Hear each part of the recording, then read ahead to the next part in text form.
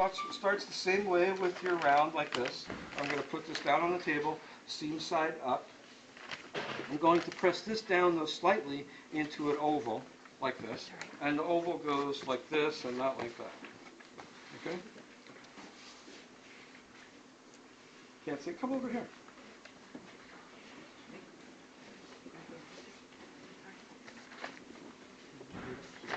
Can try it later. Okay, so then I have this oval here, seam side up.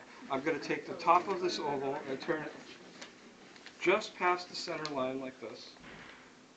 So not all the way over, but just past the center, and seal that gently with the heel of my hand. Okay.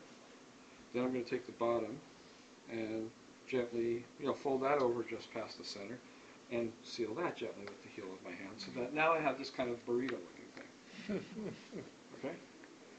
This goes seam side up, turn this around like this.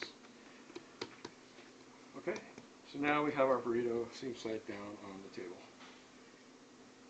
Then I'm going to take my hands and, you know, if the dough were stiff enough, I'd be able to just roll it, uh, roll it back and forth and it would seal. But what I'm going to do, hard to describe, so take a, so try to ask or whatever.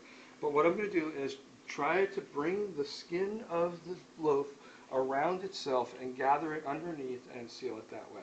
So I'm going to try to pull this, the tension around the loaf this way with my fingers coming towards me like this. See? And then with my thumbs away from me like that.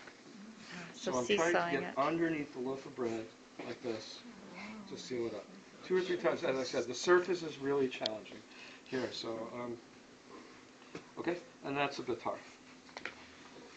Finish it up a little bit like this, but basically I'm trying to put as little pressure, as little work.